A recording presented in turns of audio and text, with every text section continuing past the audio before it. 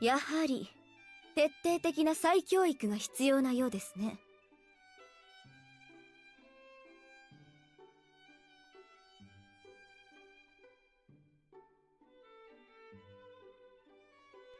誰に？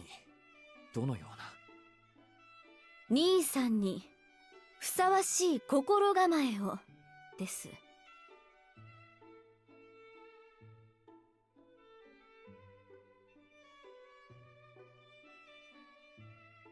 その具体的には？まずは生活習慣の改善。夜間の外出は当然禁止です。門限は8時とします。どのような理由であれ外出の時は私か琥珀翡翠の許可を取るように。は。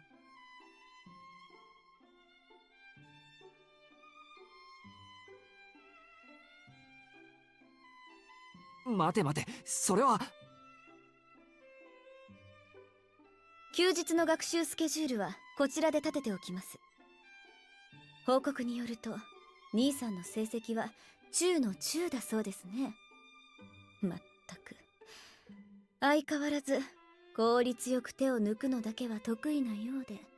とんでもない。俺はいつだって全力だ。ですがこの屋敷にいる間は本気を出していただきますからそのつもりで兄さんはやればできる人なんですからお体のことを考慮しても学年3位以内は当然でしょ？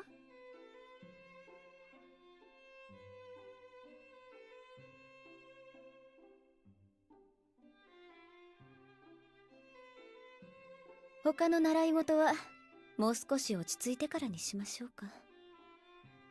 それでは兄さん本題のあれを出してください。はい。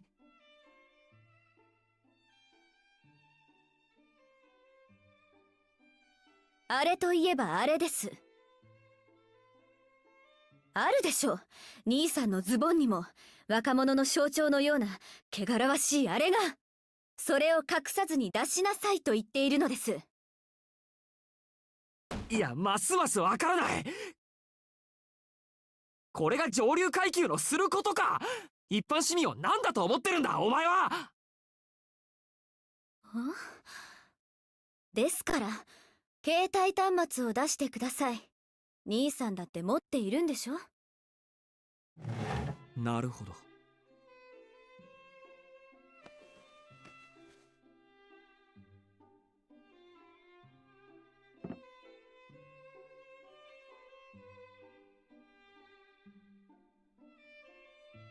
これは没収します。当家ではこの手の電子機器は禁止です健全な学生には不要なものですから。電話ならロビーの備え付けのものを使うように。調べ物がしたいのでしたら図書室をどうぞ。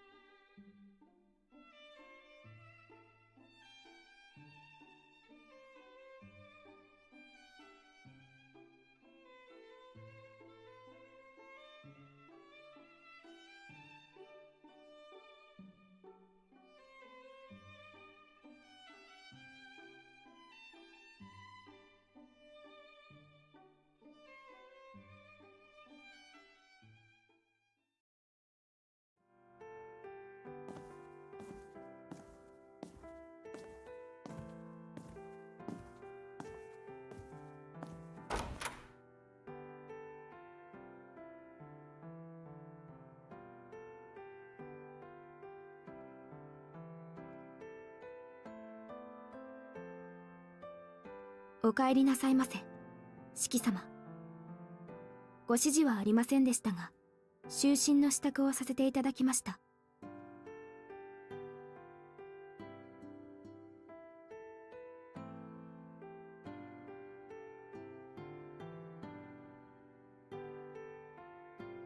あうん。ありがとう。寝巻きはそちらのものをお使いください着ていらしたお洋服はそちらのカゴに入れ廊下に出しておいてくだされば助かります。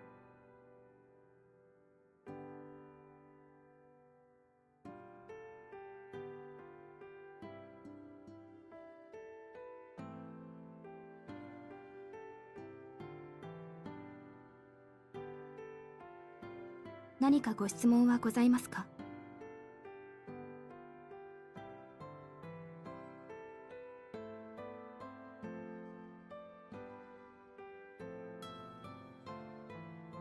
まり関係ない話なんだけどいいかい？はい。何でしょう？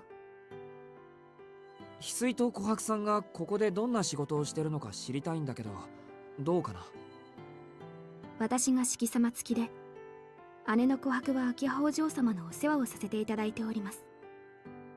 お二人が留守の間は屋敷の管理を任されていますがそれが何か？お世話ってやっぱりそういうことか。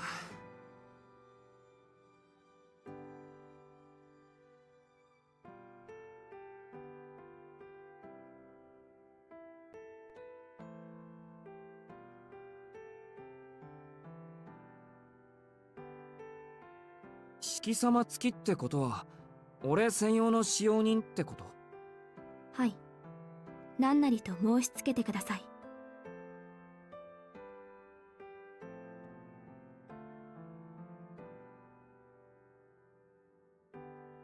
わかった。秋葉のあの言いぶりじゃ俺を一人にはしないだろうし。そもそも俺の気持ちの問題で君を解雇させるのは良くはないと思う。ありがたくお世話になるけど。何か特別なご要望でもあるのですか？そんな大それたことじゃなくて。その四季様っていうのはちょっと。俺はそんな柄じゃないし正直に白状すると分不相応すぎて首根っこをつかまれた気分になる。ですが式様は私の主人です。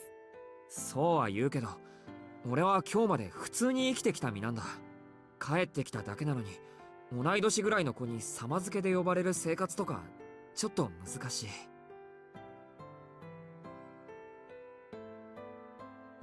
俺のことは遠野さんとか四季さんでいいよ堅苦しいのはなしにしたいんだ。こっちも君を翡翠さんって呼ぶからさ。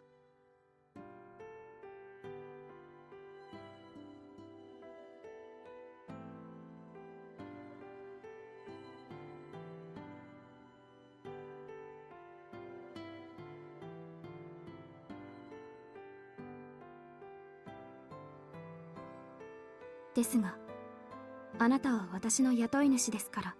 俺が雇ってるわけじゃないだろ。失礼ながらそれは同じことです式様。私どもは遠野家に仕える者。ご当主様もご親族の方も共に尊ぶべき主であることに変わりはありません。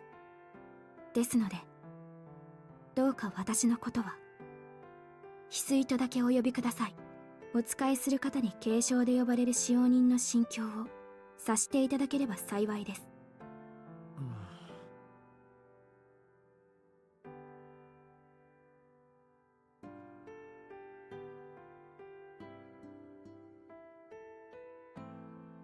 はあ。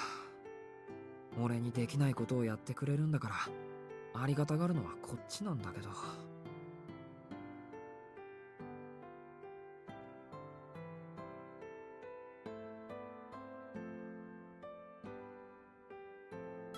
呼び方。翡翠でいいんだね。はい。何としてもそのように。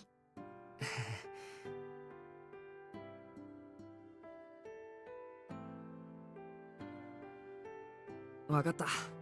じゃあそのように。でも俺に対してあんまり堅苦しいのはなしにしてほしい。お姉さんの琥珀さんにもそう伝えてくれるとありがたい四季様がそうおっしゃるのなら。